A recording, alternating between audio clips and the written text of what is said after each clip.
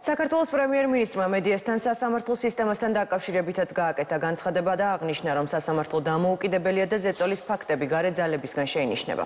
გარშემო მიმდინარე მოვლენებზე და ასევე ისაუბრა, რომ ეგრეთ წოდებულ ვეტინგის სისტემასთან დაკავშირებითაც ირაკლი კობახიძის შეფასებით ოპოზიცია და არასამთავრობო ორგანიზაციები საბჭოური სტილის კამპანიებს ახორციელებენ, რაც ფაქტებისა და არგუმენტების გარეშე ბრალდებებს გულისხმობს. თავრობის მეტაორმა აღნიშნა ისიც, რომ ასეთი სტილის კამპანიების უკან ისეთი არასამთავრობო ორგანიზაციები დგანან, რომელთა დაფინანსებაც ბუნდოვანია. თემას გამოეხმაურა ქართული ოცნების თავმჯდომარე ირაკლი ღარიბაშვილიც. რაც შეეხება წარწერებს, ეს არის საბჭოური სტილის კამპანია, რომელსაც აწარმოებენ უცხოური გავლენის აგენტები საქართველოში. რაც ძალიან სამწუხაროა, თქვენ გახსოვთ, რომ სტიგმატიზაცია ხდებოდა წლების განმავლობაში სასამართლო სისტემის მოსამართლეების. თქვენ გახსოვთ, რომ ტერმინი მოიფიქრეს ამ მიზნით, ეს ხო კლანი და ასე შემდეგ.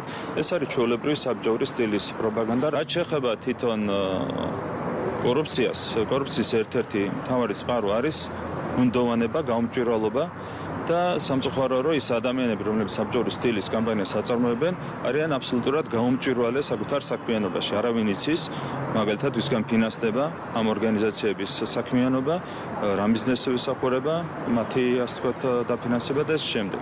სწორედ გაუმჭვირვალობა არის კორუფციის თავარი წყარო და სამწუხაროდ ის სუბიექტები, რომლებიც აწარმოებენ საბჭოური სტილის სტილის კამპანიებს სასამართლოს წინააღმდეგ, გამოირჩევიან სწორედ გაუმჭვირვალობით და სწორედ ეს არის კორუფციის საფუძველი. ესეც იმართება აი ეს მტრულად მოქმედია ეგრეთ ეგრეთ წოდებული აგენტურული ორგანიზაციების მიერ მათ მიერ არის ეს ყველაფერი ორგანიზებული. რაც სად იყვნენ ეს ადამიანები?